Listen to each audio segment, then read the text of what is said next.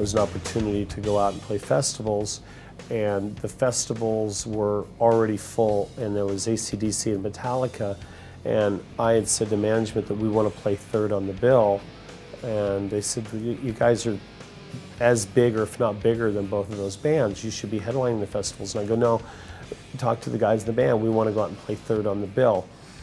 And we're going to write a couple songs to do it. Bands keep doing, they don't stop.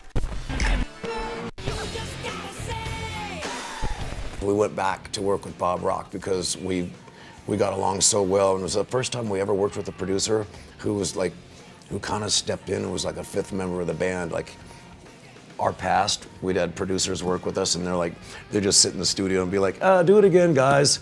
Or not really know what to do with us. He'd be out there with a guitar strapped on and a microphone and he would sing with us and play guitar and go, no, no, let's try this chord here.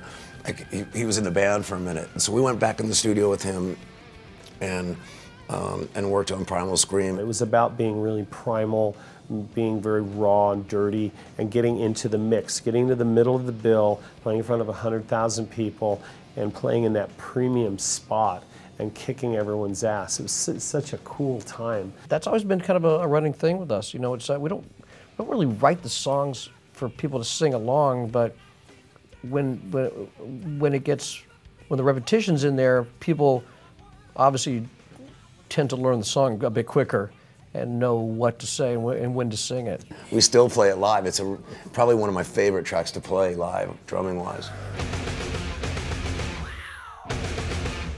I had uh, been working on this, this riff, the main riff. It sounds kind of Zeppelin-ish, and Tommy had this song that I think was just called Shout or something Shout, and we merged them together.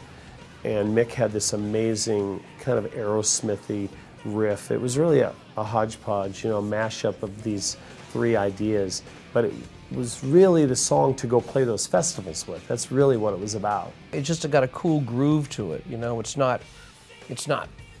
I'm not gonna say it's not rock and roll, but it's, it's got a different vibe to it. It's got a really sexy, um, just a sexy. It really just makes you think of sex. Uh, a lot of girls I talk to, they go, "Yeah, that's my favorite, my favorite video because it's, it's like it's almost like a porn."